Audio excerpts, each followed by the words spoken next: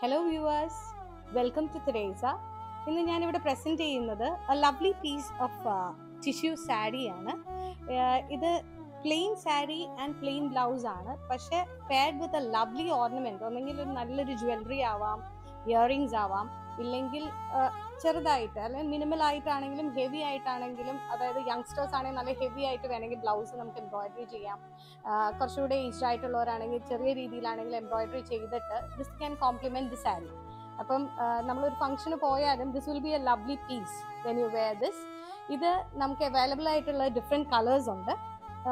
ഇതിൽ പ്രത്യേകതയുള്ളത് one thread that has gone into the weave is silk the other one is tissue tissue വരുമ്പോൾ ഉള്ള പ്രത്യേകത എന്ന് പറയുന്നത് നമ്മൾ എപ്പോഴും ഇത് വളരെ ഡെലിക്കറ്റ് ഡാർലിങ്സ് ആണ് ഒത്തിരി സൂക്ഷിച്ച് ഉപയോഗിക്കേണ്ട മെറ്റീരിയൽ ആണ്. പക്ഷേ ഇതിന്റെ ഒരു എലഗൻസ് നമ്മൾ വേറെ ഏത് സാരി ഉടുത്താലും കിട്ടാൻ ബുദ്ധിമുട്ടായിരിക്കും.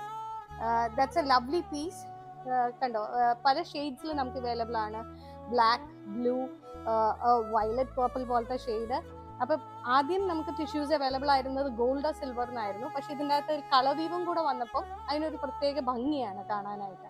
uh, paired with a lovely blouse, you will steal the show, I'm sure. Thank you.